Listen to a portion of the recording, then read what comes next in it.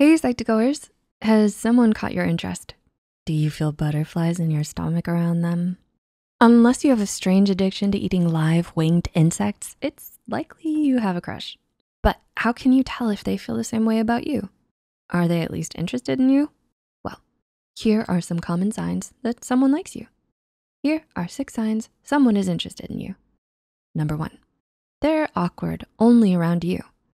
Do you get nervous around your crush? A lot of people can become a bit awkward at first when someone they like talks to them. If you notice your crush's behavior strangely shifts when they notice you, this could be a sign that you make them nervous. This is likely because they're attracted to you. So if you notice they start to fumble over their words or get lost staring into your eyes, they're probably very nervous being around someone they find so attractive. Number two, their voice changes pitch and their tone is different around you. You've been noticing your crush talks to you differently than other people. Or maybe their tone is suddenly lower or higher when talking to you. For women, their voice will often become more high pitched, while men will often deepen their voice when attracted to someone. Their tone may also change as well.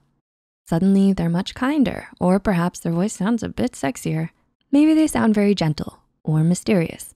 Either way, unless they sound rude, they may subconsciously be doing this because they like you.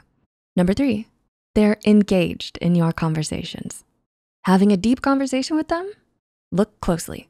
Did they look engaged in your conversation? Or are they on their phone?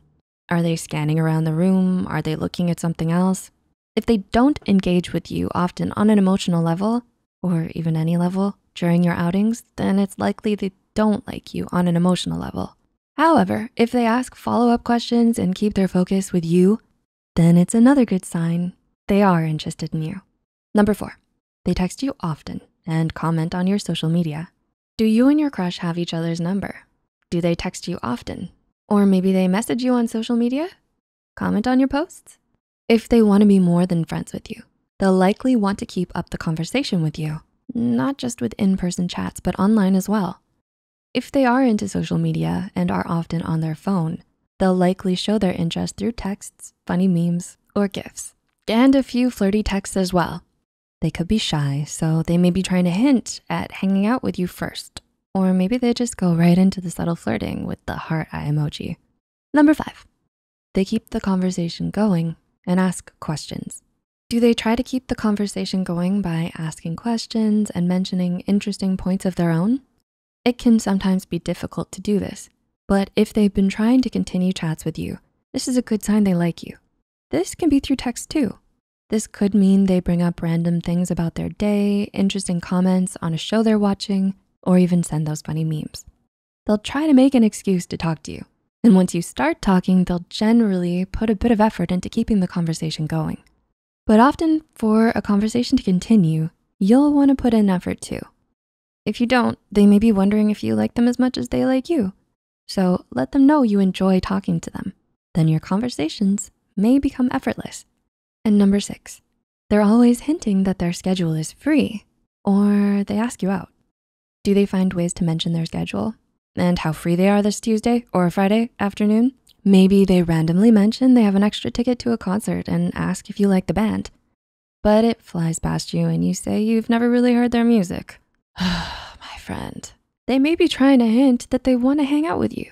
I don't know why you can't both just ask each other out, but every scenario is different.